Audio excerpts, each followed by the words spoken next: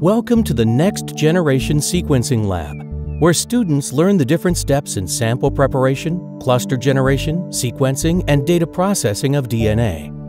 In this lab, students will perform single nucleotide polymorphism analysis to correlate results with physical appearance, such as baldness, earwax thickness, and many others, in order to reconstruct the physical appearance of an ancient Greenlandic man. Accessing the virtual lab, students are taken through multiple steps of the sample preparation and sequencing process, learning about sample fragmentation, end repair, A-tailing, and PCR amplification of the sample.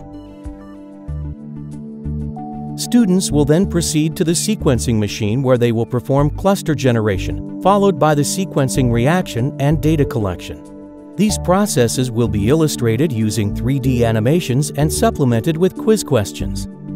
After completing the sequencing procedure, students will acquire data outcomes as a FASTQ files and process them. Students will also look at specific SNPs, especially the ones that result in amino acid change and give rise to a specific physical characteristic, such as baldness or earwax thickness.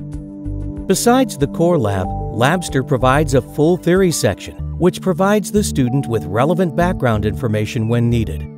Also with the Media Player function, students will be able to see the animations, graphs, and collected data several times during the lab, as well as at a later time for exam preparation.